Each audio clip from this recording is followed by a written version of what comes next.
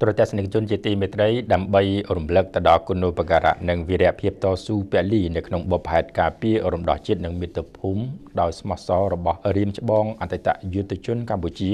ទើបសម្ព័ន្ធយុវជនស្រឡាញ់សន្តិភាពបានបើកនៅយុទ្ធនាការយុវជនសម្ដេចតេជោនិងអ្នកតស៊ូរំដោះជាតិក្រោមប្រធានបទ ផឹកទឹកនឹកឃើញប្រភពច្រកម្លប់នឹកឃើញអ្នកដាំនៅក្នុងគោលបំណងរំលេចឲ្យឃើញនៅអ្នកស្នេហាជាតិនិងអ្នកតស៊ូរំដោះជាតិពិតប្រកបនោះគឺរៀមច្បងអតីតយុទ្ធជនលោកប៉ាន់ខែមប៊ុនថនជំនួយការផ្ទាល់សម្ដេចតេជោហ៊ុនសែននិងជាប្រធានប្រតិបត្តិសម្ព័ន្ធយុវជនស្រឡាញ់សន្តិភាពបានបញ្ជាក់ថាក្រោយការចាប់ផ្ដើមយុទ្ធនាការដំបូងនៅក្នុងស្រុកស៊ីធរកណ្ដាលខេត្តព្រៃវែងនេះគឺជាកម្មវិធីលើកទី2នៃយុទ្ធនាការ យុវជនសម័យដេជោ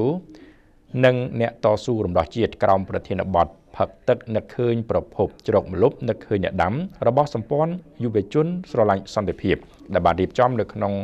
ស្រុកគៀនស្វាយខេត្តកណ្ដាលនៅថ្ងៃទី29ខែមីនា2017ហើយសម្ព័ន្ធយុវជនស្រឡាញ់សន្តិភាពនឹងបន្តធ្វើការរៀបចំនៅកម្មវិធីនេះនៅតាមមូលដ្ឋានដទៃទៀតនៃប្រទេសកម្ពុជា ដើម្បីចូលរួមលើកទឹកចិត្តព្រមទាំងបញ្ជាក់ឲ្យឃើញយ៉ាងច្បាស់អំពីការយកចិត្តទុកដាក់ជាមួយនឹងការចងចាំជានិច្ចមិនអាចបំភ្លេចបានសោះឡើយនៅគុណូបការៈនិងវីរភាពតស៊ូការពាររំដោះជាតិមាតុភូមិរបស់អតីតយុទ្ធជនកម្ពុជា ពីសំណាក់រាជរដ្ឋាភិបាលកម្ពុជា ដែលមានសម្ដេចអគ្គមហាសេនាបតីតេជោហ៊ុនសែនជាប្រមុខដឹកនាំប្រកបដោយកតេបណ្ឌិត ថ្លែងទៅកាន់អ្នកដែលចូលរួមប្រមាណជាង300នាក់នៅក្នុងវេទិកាយុវជនសម័យដេជោនិងអ្នកតស៊ូរំដោះជាតិឯកឧត្តមជុំកុសលទីប្រឹក្សាផ្ទាល់សម្ដេចតេជោហ៊ុនសែននិងជាប្រធានកិត្តិយសសម្ព័ន្ធយុវជនស្រឡាញ់សន្តិភាព បានបញ្យល់និងបកស្រាយយ៉ាងច្បាស់អំពីសច្ចភាពប្រវត្តិសាស្ត្រនយោបាយក្នុងព្រះរាជាណាចក្រកម្ពុជា ឯកឧត្តមបានអំពាវនាវឲ្យប្រជាពលរដ្ឋនិងយុវជនចូលរួមថែរក្សានិងចេះស្រឡាញ់សន្តិភាពនិង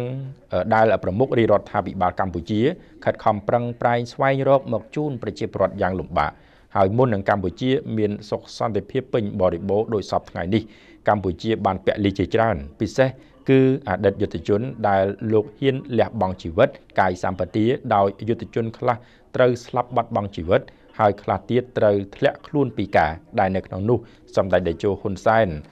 ក៏ជាអតីតយុទ្ធជនមួយរូបដែលបានពលីកាយចិត្តរហូតដល់បាត់បង់កៅភ្នែកជាទីស្រឡាញ់របស់ខ្លួនម្ខាងហើយខ្លួនប្រានបន្សល់នៅស្លាកស្នាមរបួសស្ទើរសោះសាច់ដែលជាបបហេតុប្រយុទ្ធតស៊ូរំដោះជាតិមាតុភូមិដើម្បីស្វែងរកសន្តិភាពជូនប្រជាពលរដ្ឋនិងប្រទេសជាតិព្រោះសន្តិភាពគឺជាគ្រឹះនៃការអភិវឌ្ឍហេតុនេះហើយក្នុងនាម យុវជនសម័យដេជោពិតជាគោរពកោតសរសើរនិងលើកស្ញប់ស្ញែងដ៏ស្មោះអស់ពីដួងចិត្តនៅការលះបង់ដ៏អស្ចារ្យរបស់រៀមច្បងអតីតយុទ្ធជន នៅក្នុងការតស៊ូរំដោះជាតិ